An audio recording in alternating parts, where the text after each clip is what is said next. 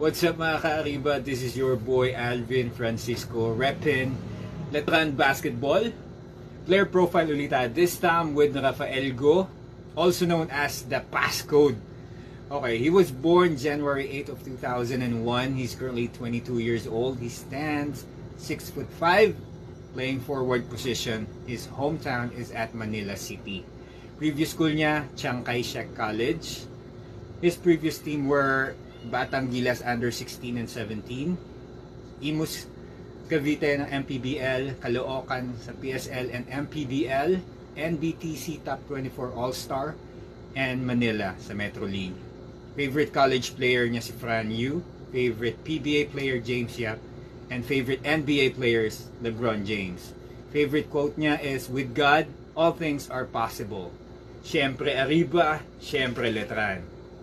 Coming from Reysa to retrieve the basketball, and Rafael Go scores inside. Rafael Go, thing, but the way they perform, malaking tulong yan. Less weight and they're more agile when they play. Go. Oh, Rafael Go, what a fake! Woo! Exactly the same thing he did earlier. He knows